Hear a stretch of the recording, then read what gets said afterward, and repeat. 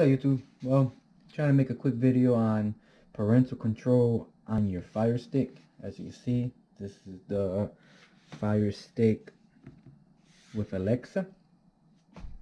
So this is your screen. You can see, this is your screen. Now, in order to get to your parental control, just in case kids buy stuff and stuff like that, you go to your settings okay? After your settings you will go to preferences okay?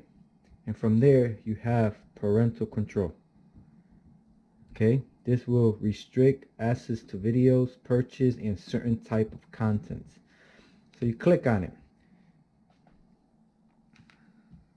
I'm gonna turn it on right so it's asking you for a password.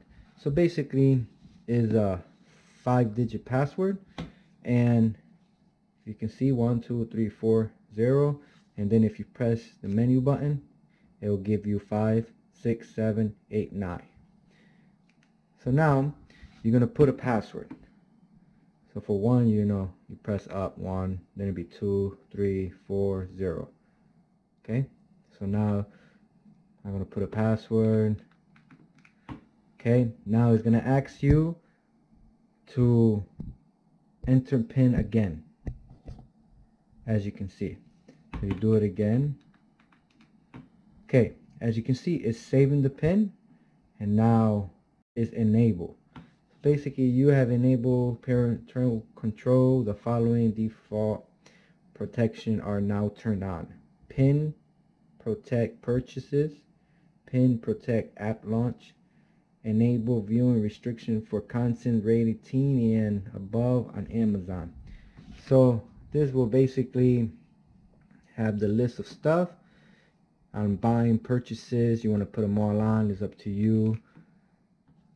If you want to um, look at the restrictions, you put it. Say as you can see teen and mature basically it's locked these two are open family stuff in general. Okay, so that is how you put parental control on your Fire Stick. So now they will not be able to buy.